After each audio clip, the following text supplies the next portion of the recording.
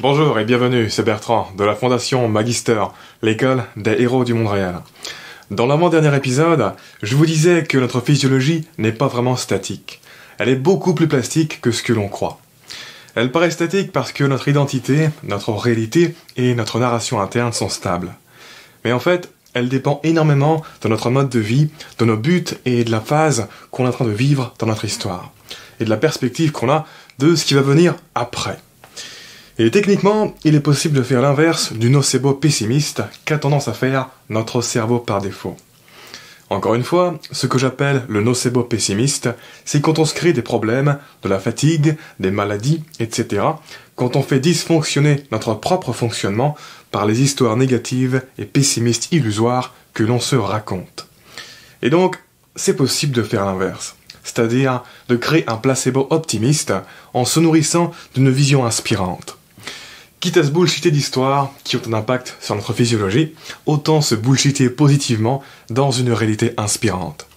Autant se bullshiter d'émotions positives pour activer les forces cachées qu'on a à l'intérieur, altérer positivement sa production d'hormones, sa production d'énergie, et se retrouver dans un état physiologique optimisé, devenir un être plus puissant, plus confiant, plus concentré, plus déterminé. Bon, après, même en développant la réalité interne optimale pour booster votre physiologie, j'ai essayé, ça ne fera pas non plus de miracle surhumain. Vous resterez un être humain, et les êtres humains, on a quand même des limites. Mais vis-à-vis de votre identité, de la cohérence de votre réalité interne et de votre narration actuelle, ça peut rendre possible des choses que vous croyez possibles pour d'autres êtres humains spéciaux, mais impossibles pour vous. Parce que certaines choses sont impossibles pour votre identité actuelle, mais pas pour celle que vous pouvez devenir. Moi, il y a quand même trois fois dans ma vie où, pour tout vous dire, j'ai vraiment l'impression qu'il se passait un miracle avec mon corps. J'étais dans une sorte de transe énergétique. Mes capacités et mes sens physiques étaient radicalement augmentés. Mais le souci, c'est que c'était des situations extrêmes, très temporaires, où si je faisais pas quelque chose de miraculeux, j'étais foutu. Et j'ai jamais réussi à reproduire ce type de transe énergétique au calme. En fait, c'était beaucoup plus ces situations particulières que ma propre volonté qui m'avait mis dans cet état. J'en étais pas vraiment la cause. Ce que j'ai réussi à faire au calme, en revanche, c'est l'exact opposé. À savoir atteindre des états méditatifs profonds dans lesquels je suis entre la conscience et le sommeil, et au cours desquels mon corps passe dans l'état de détente décuplé, tous mes tissus musculaires se ramollissent, etc. Mais là encore, pour tout vous dire, j'ai vraiment de grosses difficultés à déclencher sur commande ce genre d'état. Pour être honnête, à chaque fois que j'y suis arrivé, ça m'a pris des heures de préparation et c'était aussi des périodes assez particulières de ma vie. Bref, ça, c'est des états vraiment particuliers. Moi, ce qui m'intéresse surtout, c'est notre état d'éveil par défaut, celui dans lequel on est au quotidien, et que l'on peut contrôler et maintenir dans un état augmenté en maîtrisant son mental. C'est cet état d'éveil par défaut dont le contrôle m'intéresse. Parce que sur cette chaîne, je veux réveiller les héros modernes qui sommeillent en nous. Et c'est des héros qui sont en contrôle d'eux-mêmes et agissent au quotidien pour créer un monde meilleur. Et j'espère qu'avec les dernières vidéos, certains d'entre vous commencent à comprendre que cette histoire de héros du monde réel, c'est vraiment, vraiment très sérieux. Parce que l'identité psychologique d'un être humain a des conséquences gigantesques sur son existence et sur les pouvoirs biologiques auxquels il a accès.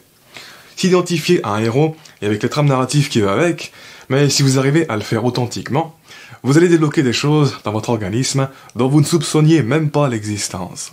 Pour moi, ça ne fait aucun doute que beaucoup de personnes n'ont jamais ressenti certains pouvoirs que leur organisme est capable de générer. Et ça ne fait aucun doute que s'ils savaient qu'ils en avaient le potentiel en eux, ils mèneraient une vie bien différente. Je le sais très bien parce que moi, beaucoup de ces capacités, je les ai découvertes à un âge assez avancé, dans des circonstances narratives qui ne seront jamais celles de Monsieur Tout-le-Monde dans notre culture. Les folies de l'épigénétique. Et donc, si je n'avais pas été dans ces circonstances narratives particulières qui ont fait évoluer mon identité, je ne saurais pas moi-même qu'ils existent. Je serais à moitié endormi à ce que je suis, tout en me croyant complètement réveillé, comme beaucoup de gens dans notre culture. Vous vous demandez peut-être pourquoi ce que je raconte sur les relations fortes entre mental, narration et physiologie n'ont pas été mis en évidence par la science. La réponse, c'est parce que c'est dur à tester, vu que ça dépend de l'identité, de la cohérence, de la réalité et de la narration interne de chaque individu. Et que globalement, tous les individus d'une culture ont le même type de croyance, le même type de paradigme existentiel et suivent les mêmes trames narratives. D'ailleurs, beaucoup d'études en psychologie sont relativement critiquées parce qu'elles sont basées sur une population trop particulière d'individus. Typiquement, celle que certains auteurs appellent les WEIRD, W-E-I-R-D. Un acronyme anglais pour désigner les gens correspondant aux adjectifs occidental, éduqué, industrialisé, riche et démocratique.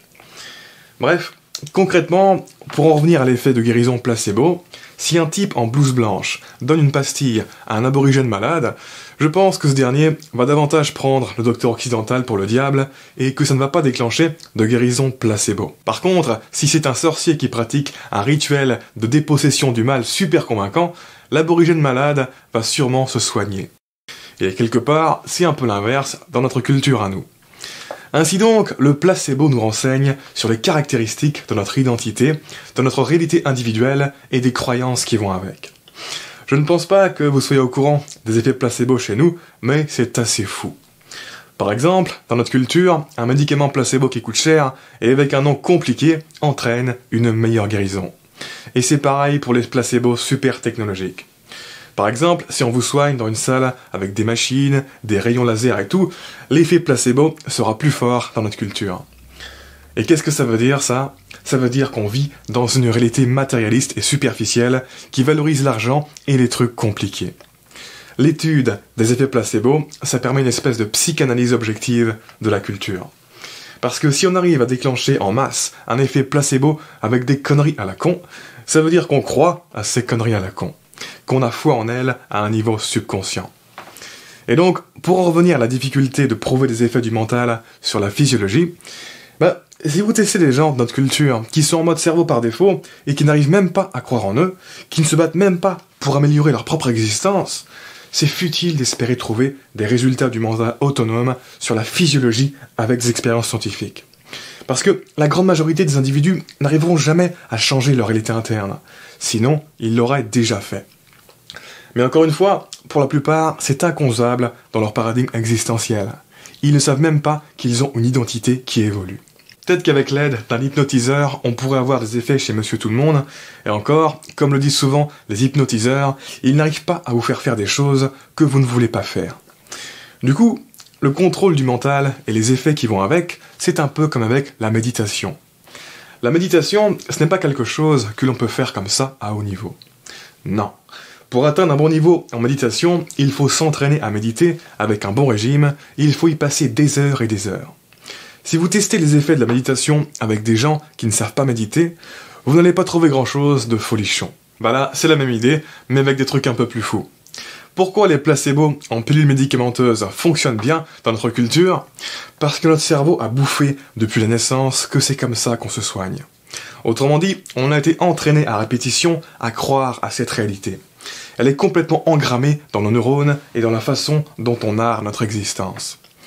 Pour la plupart d'entre nous, c'est même pas qu'on croit qu'on peut se soigner avec des médicaments, c'est qu'on sait qu'on peut se soigner avec des médicaments.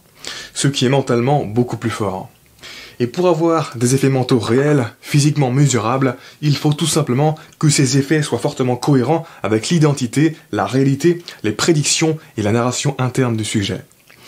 Et actuellement, qui arrive à contrôler ses peurs, son stress, qui arrive à rendre possible ce qu'il pense impossible Pas grand monde. Vraiment pas grand monde. C'est difficile d'arriver à contrôler son identité, ses prédictions, sa réalité interne et faire fi de toutes ses croyances passées sans être dans un état d'hypnose profond. D'ailleurs, le principe d'optimisme inébranlable, le concept autour duquel tournent toutes mes vidéos passées, ça totalement dans cette optique-là. C'est super simple dans l'idée, mais c'est super dur à maîtriser. Toutes ces choses, ça demande beaucoup, beaucoup, beaucoup d'entraînement, une abstraction de la culture qui nous entoure, et surtout une conception complètement dynamique de la réalité.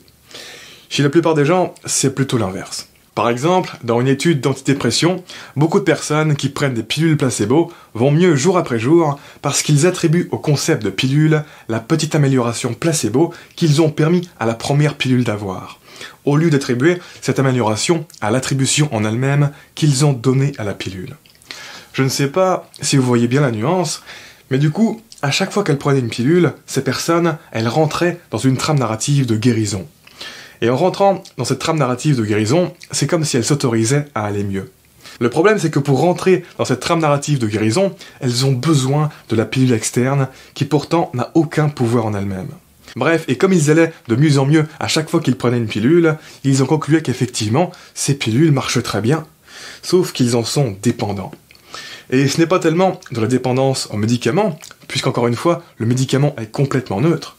Non, c'est de la dépendance à la trame narrative dans laquelle ce médicament est un acteur principal. C'est de la dépendance à ce qu'on croit qui est la réalité externe et qui est en fait interne. La pilule étant juste une sorte de totem externe pour rentrer dans une trame narrative interne. C'est fou, mais de manière générale, on est contrôlé par notre réalité interne, qui est le reflet statique de la culture dans laquelle nous vivons et de l'identité que l'on s'est construit et fixée, du rôle que l'on s'est attribué à vie. Si vous suivez la série Better Call Saul, il y a bon exemple de l'effet nocebo dans cette série télé. Dans cette série télé, il y a un personnage qui croit que les ondes électromagnétiques générées par les différents dispositifs électroniques affectent négativement son organisme. Et donc, ce personnage ressent de la douleur réelle quand il a l'impression qu'il y a des dispositifs électroniques autour de lui. Parce que dès qu'il perçoit quelque chose d'électronique, son esprit rentre automatiquement dans une trame narrative de douleur.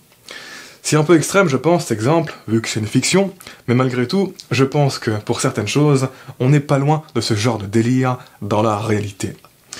Et comme les réactions physiologiques de notre organisme dépendent de notre identité, je pense que c'est pour ça que l'on trouve des effets prononcés du mental sur la physiologie chez des acteurs qui se plongent dans un rôle, qui changent rapidement de poids, etc.